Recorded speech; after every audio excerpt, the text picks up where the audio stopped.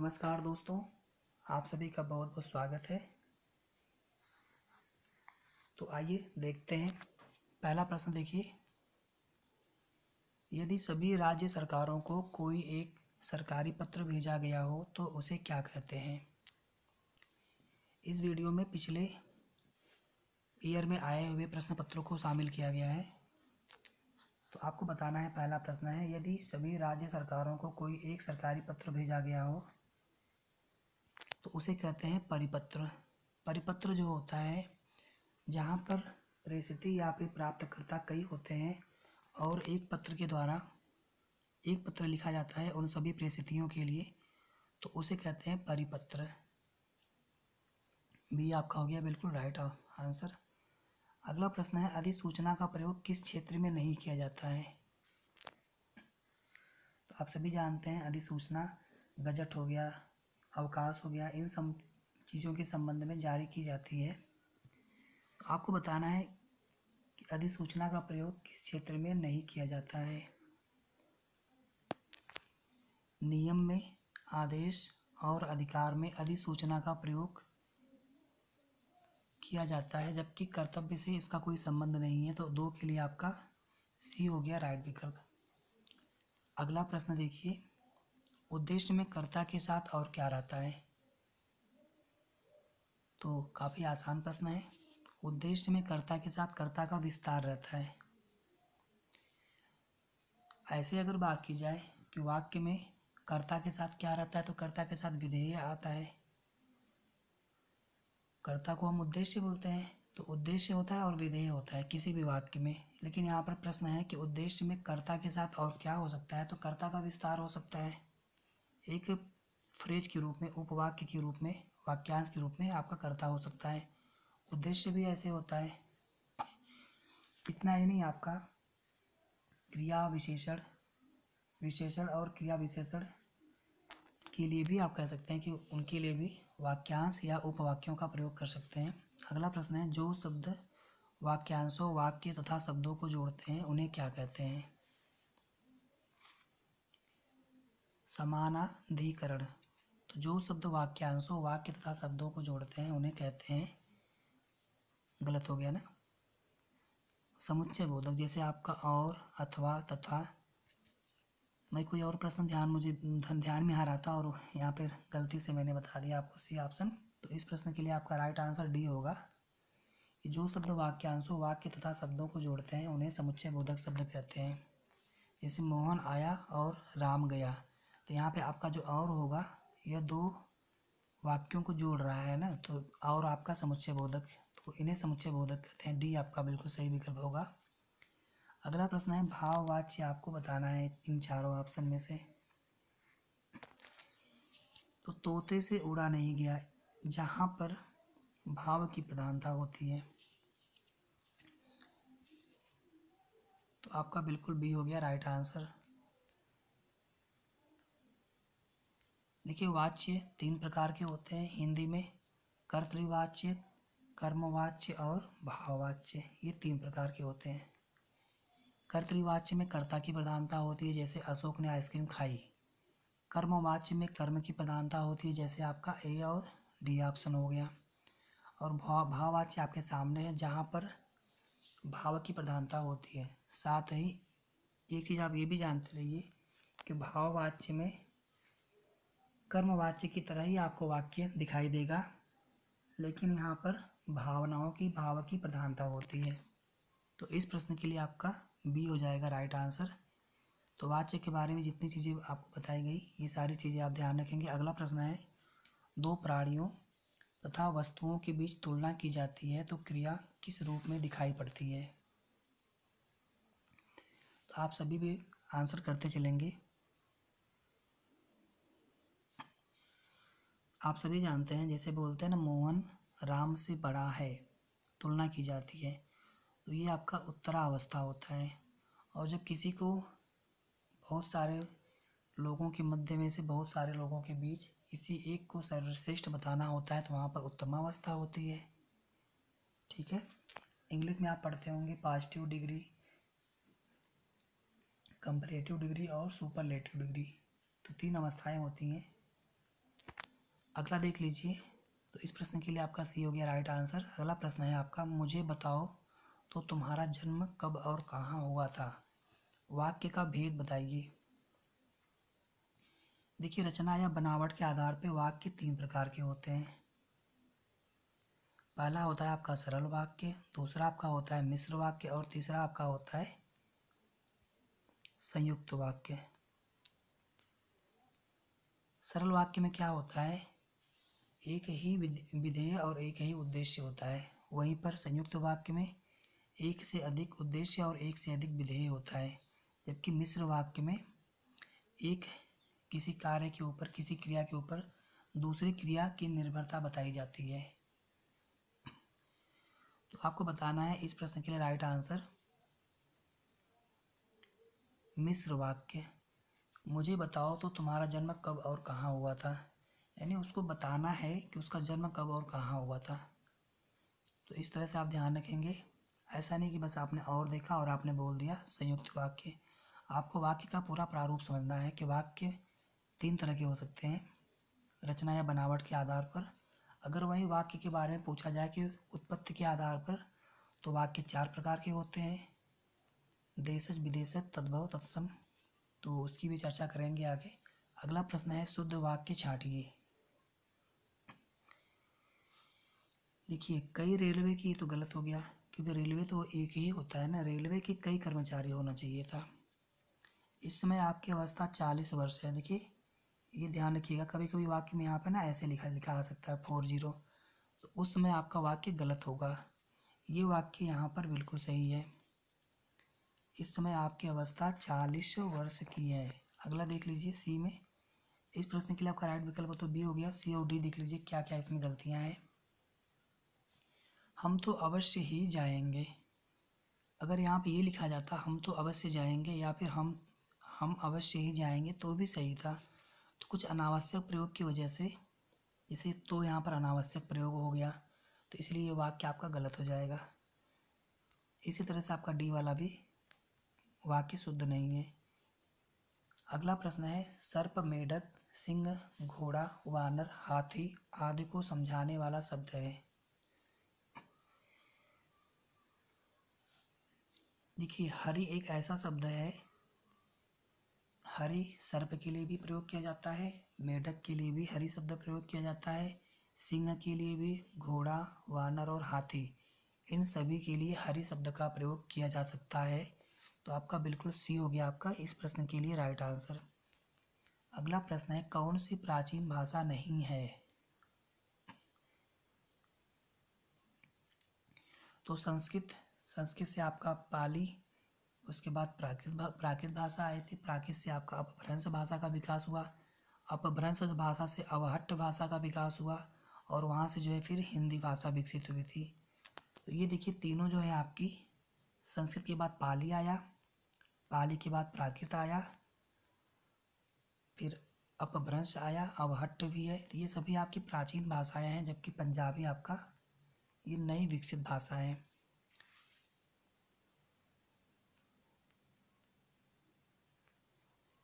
तो अपभ्रंश की कौन सी भाषा किस अपभ्रंश से किस भाषा का विकास हुआ है? हिंदी की कुल पाँच उपभाषाएँ हैं, अट्ठारह बोलियाँ हैं। तो ये सभी चर्चा मैंने की हुई है ऑलरेडी अगला प्रश्न देख लीजिए। अनिश्चयवाचक सर्वनाम का अपादान कारक में बहुवचन रूप होगा। सर्वनाम छह प्रकार के होते हैं। सीधे सीधे क्वेश्चन पूछ लिया जाता है। सर्वनाम कितने प्रकार के होते हैं? छह प्रकार के होते हैं। अनिश्चयवाचक सर्वनाम में होता है कि जैसे कोई आ रहा है। कुछ लोग जा रहे हैं। तो इसका अगर बहुवचन में और अपादान कारक में अपादान कारक यानी अलग होने के अर्थ में से विभक्ति होती है अपादान कारक की कुल आठ कारक और आठ विभक्तियाँ होती हैं। तो इस प्रश्न के लिए आपका राइट आंसर हो जाएगा बहुवचन रूप में किन्हीं से, यानी किन्हीं से अलग होने के अर्थ में अनस्यवाचक सर्वनाम का बहुवचन रूप होगा। सी, आपका बिल्कुल राइट आंसर होगा। अगला प्रश्न है, पुल्लिंग वाचक शब्द छाटिए। अगर इसमें से देखा जाए तो पायल, प्लेट, तलवार। पायल और तलवार तो आपका स्त्रीलिंग शब्द हो गया। प्लेट के बारे में बताना है कि प्लेट आपका स्त्रीलिंग शब्द है या फिर नपुंसक लिंग है। क्या आपको बताना है? ये आपके लिए असाइनमेंट है। तो यहाँ पर आपका कैमरा बिल्कुल पुलिंग वाचक शब्द हो जाएगा। तो मैं आपको यहीं पर बता देता हूँ कि प्लेट, तलवार और पायल ये तीनों स्त्रीलिंग शब्द हैं, जबकि कैमरा आपका पुलिंग वाचक शब्द है। अगला प्रश्न है, पाहुना का पर्यावाची होगा। पाहुना, अतिथि को बोलते हैं पाहुना। तो पाहुना का पर्यावाची यानी आगंतुक, अतिथि। पाहुना का तात्पर्य अतिथि से है तो इसके लिए पर्यावाची होगा यहाँ पर सी, आगंतुक। अगला प्रश्न है, इनमें से किसमें निर उपसर्ग नहीं है? तो उपसर्ग ऐसे वाक्यांश होते हैं जिन, जिन्हें किसी शब्द के प्रारंभ में जोड़ने से उस शब्द के अर्थ में परिवर्तन हो जाता है। हिंदी, संस्कृत, उर्दू, फारसी, इन सभी के अलग अलग उपसर्ग की संख्या है। तो इनमें से बताना है किसमें निर उपसर्ग नहीं है। देखिए, इसमें निर उपसर्ग नहीं है, जबकि यहाँ पर निर उपसर्ग है। निर प्लस देश, निर प्लस वाह, निर प्लस बल। तो ए में आपका निर उपसर्ग नहीं है तो आपका हो गया बिल्कुल राइट आंसर ए। अगला प्रश्न है, शुद्ध वाक्य छाटना है आपको। पहला देखिए, अगर आप ए विकल्प में मुझसे यह काम संभव नहीं हो सकता, ठीक है? यह वाक्य आपका पूर्ण रूपेण सही नहीं है। अगला है, वह बिल्कुल बात नहीं करना चाहती थी। अगर इसको देखा जाए तो यह वाक्य आपका बिल्कुल शुद्ध है। सी है, मैं आपकी भक्ति करता हूँ। तो ये भी वाक्य सही नहीं है, शुद्ध नहीं है। डी है, आपका बाघ और बकरी एक घाट पानी पीती हैं। तो पानी पीते हैं होना चाहिए। यह वाक्य भी शुद्ध नहीं है तो यहाँ पर बिल्कुल आपका बी हो जाएगा राइट आंसर अगला प्रश्न देखिए इसी के साथ, समीप, छोटा तथा गौड़ के अर्थ में कौन सा उपसर्ग आता है? यानी कुछ किस उपसर्ग का अर्थ समीप या फिर छोटा या फिर गौड़ के अर्थ में लिया जाता है? तो उप, उपसर्ग जैसे हम बोलते हैं, उपवन यानी वन के पास, उपवास यानी वास करना, उपन समीप। तो उप का अर्थ समीप, छोटा और गौड़ के अर्थ में लिया जाता है। डी हो गया आपका राइट विकल्प। अगला प्रश्न है, कुंदन का पर्यावाची होगा। बिल्कुल सही है, हेम। ये आपका हो जाएगा राइट आंसर इस प्रश्न के लिए। देखिए, इस तरह के प्रश्न भी आते हैं। हिंदी से इंग्लिश और इंग्लिश से हिंदी पूछ देता है। तो drowning man catches a straw आपको बताना है, इसका हिंदी में क्या तात्पर्य निकल रहा है। तो आपके सामने चार विकल्प है। तो drowning man catches a straw डूबते को तिनके का सहारा। ये आपका कहावत या लोकोक्ति बन जाएगा। इसका अर्थ ये होगा। तो सी आपका हो जाएगा बिल्कुल राइट आंसर अगला प्रश्न है, कौन सा अधिकरण तत्पुरुष समास का एग्ज़ाम्पल नहीं है? आपको ये बताना है। तो अधिकरण तत्पुरुष में क्या होता है? मे और पर की विभक्ति होती है। आर के अर्थ में लिया जाता है। तो इस प्रश्न के लिए आपका राइट आंसर हो जाएगा। धर्म भ्रष्ट इसमें अपादान कारक होगा। धर्म से भ्रष्ट। जबकि पुरुषों में उत्तम देश, देशाटन पर हो गया कुल कुल में श्रेष्ठ। इन तीनों में अधिकरण तत्पुरुष समास है। जबकि धर्म भ्रष्ट में अपादान तत्पुरुष समास है।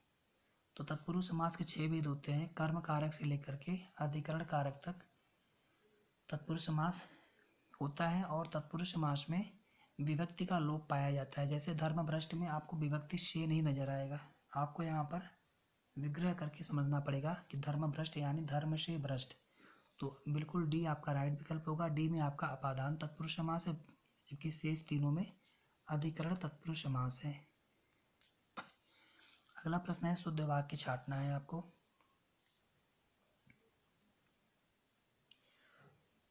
तो तुम इसका दाम देने जाओ। गलत है। उसकी संतान होना चाहिए, ये भी वाक्य गलत है। बेफजूल बात मत करो, ये भी गलत है, शुद्ध वाक्य नहीं है। सी, आपका देख लीजिए, मुझे आपका काम बहुत पसंद है। ये वाक्य पूरी तरह से शुद्ध है। सी, आपका राइट विकल्प हो गया। अगला प्रश्न है, पंजाब में हिंदी का प्रचार किसने किया? तो श्रद्धाराम फुल्लोरी जी का नाम आप जानते रहिए। पंजाब में हिंदी का इन्होंने प्रचार प्रसार किया था। अगला प्रश्न है, सफलता न मिलने पर दुखी होना क्या कहेंगे इसे? इसके लिए एक शब्द बताइए। तो इसको बोलते हैं शोभ। ये आपका राइट आंसर है। जब सफलता न मिलने पर इंसान दुखी कोई दुखी हो जाए तो उसके लिए शोभ शब्द प्रयोग किया जाता है। अगला प्रश्न है आपका दूसर का पर्यायवाची होगा। तो आप सभी आंसर करते चलेंगे। दूसर का पर्यायवाची बिल्कुल सही, बेसर सी होगा आपका बिल्कुल राइट आंसर इस प्रश्न के लिए। अगला देख लीजिए, अगला प्रश्न है आपका, खाने की इच्छा के लिए बताना है आपको एक शब्द। तो खाने की इच्छा के लिए उसको बोलते हैं बुभुक्षा बिल्कुल आपका बी बी हो जाएगा आपका बिल्कुल राइट आंसर इस प्रश्न के लिए। जैसे प्यास, जिनको प्यास लगी हो, पिपाशा, जिनको मोक्ष की इच्छा हो मुमूर्षा जिनको खाने की इच्छा हो बुभुक्षा अगला प्रश्न है और आज की श्रृंखला का अंतिम प्रश्न है। ऐसे ही महत्वपूर्ण प्रश्नों की श्रृंखला के साथ मिलेंगे हम अगले वीडियो में। तो एक बार फिर से जितने भी लोग, नए व्यूवर्स हैं तो आप सभी लोग चैनल को ज़रूर सब्सक्राइब कर लेंगे। साथ ही वीडियो को आप लाइक और शेयर भी कर देंगे। तो इस प्रश्न में है आपका कि स्पर्श व्यंजन कंठ ध्वनि, अघोष और महाप्राण ध्वनि है। तो सबसे पहले आप जान लीजिए स्पर्श ध्वनि किसको बोलते हैं? स्पर्श व्यंजन। तो क से लेकर के म तक सभी वर्ण को हम बोलते हैं अपस्पर्श अब स्पर्श व्यंजन। इनकी संख्या कुल पच्चीस होती है।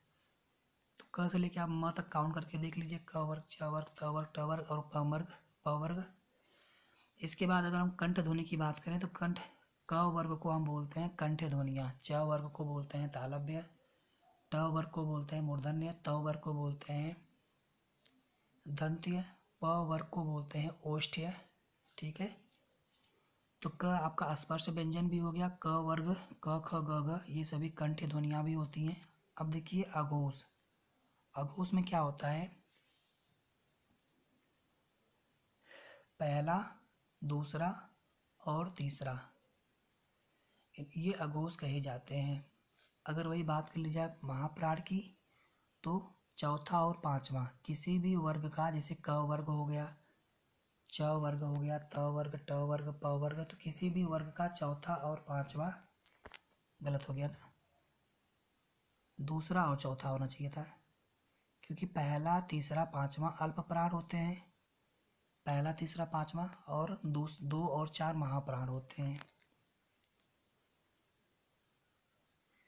तो अगर यहाँ देखा जाए कथन में तो आपका ख और घ, ख और घ दो ऐसे वर्ण हैं जो स्पर्श व्यंजन भी हैं कंठ्य भी हैं और महाप्राण भी हैं। अघोष में मैंने क्या बताया आपको? पहला, दूसरा और तीसरा। ये आपके अघोष होते हैं। एक, दो और तीन। जबकि चौथा और पांचवा सघोष होता है। साथ ही आप यहीं पर जान लीजिए कि तीनों जो स होते हैं, यानी दंत्य, तालव्य और मूर्धन्य, स स स, ये तीनों स भी आपके अघोष होते हैं। वहीं पर ह, य, व, र, ल, यानी ह और अंतस्थ वर्ण, य, व, र, ल को अंतस्थ वर्ण बोलते हैं। ये सभी सघोष में आ जाएँगे। वहीं पर य व र ल अल्प प्राण में आते हैं और आपका स स स और ह ये चारों जो उसमें व्यंजन कहे जाते हैं ये महाप्राण में आते हैं। तो हिंदी के व्याकरण से संबंधित आप वो वीडियो डिटेल में देख लेंगे तो यहाँ पर आपका राइट आंसर हो जाएगा सी तो इस आ, इस प्रश्न के लिए जितनी भी व्याख्या यहाँ पे होनी चाहिए थी तो उतनी व्याख्या मैंने कर दी ताकि आपको ये प्रश्न बिल्कुल क्लियर हो जाए। तो आशा करता हूँ आपको वीडियो काफ़ी अच्छा लगा होगा। तो मिलते हैं अगले वीडियो में।